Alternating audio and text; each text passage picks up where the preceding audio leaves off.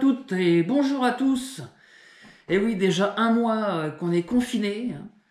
Bon, moi ça va, ça me fait rien du tout. hein. Tout va bien, il n'y a aucun problème. je vais donc vous faire un tour de magie. D'abord, je vous l'explique. La semaine dernière, c'était un tour qui était très facile à faire. Et euh, aujourd'hui, ça va être un tour un petit peu plus difficile. Un petit peu de technique. Alors, d'abord, vous avez un jeu de cartes. Ok? Toutes les cartes sont ici. Et vous faites choisir une carte à quelqu'un, par exemple, celle-ci. D'accord? La personne regarde bien la carte, vous la regardez bien, c'est bon? Vous la montrez à tout le monde, hein, youpi.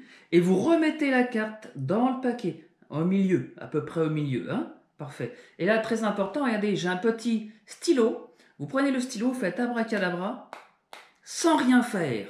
Je dis bien sans rien faire.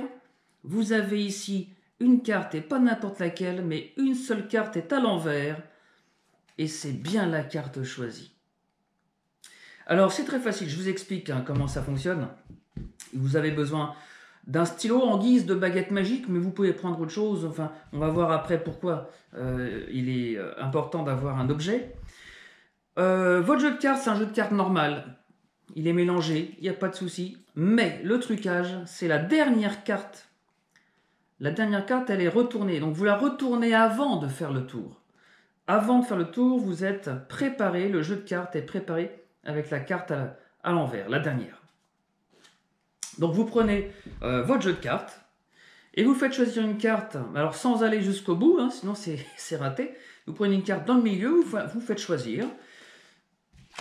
Vous montrez la carte à tout le monde et pendant ce temps-là, moi je fais un mouvement de poignet. Vous voyez, vous faites un mouvement de poignet comme ça. Alors c'est très simple. hein. Les gens regardent la carte. Pendant ce temps-là, vous, vous faites votre mouvement de poignet. Et vous mettez la carte dans le paquet à l'envers.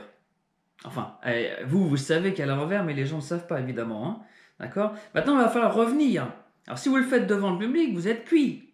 C'est pour ça qu'on va prendre le détournement d'attention, euh, une baguette magique. Vous pouvez faire, tiens, je vais chercher du sel, du faux sel dans la poche. Pendant ce temps-là, vous retournez. hein. Donc moi, je fais comme ça. Alors, grâce à la baguette, vous faites abracadabra, et donc là, vous retrouvez votre carte sans aucun souci. C'est très facile. Voilà, ça vous fait un très beau tour, ça demande un petit peu de manipulation, mais on a le temps. Alors, travaillez, hein Je vous dis à très bientôt, à la semaine prochaine, dans la joie et l'allégresse.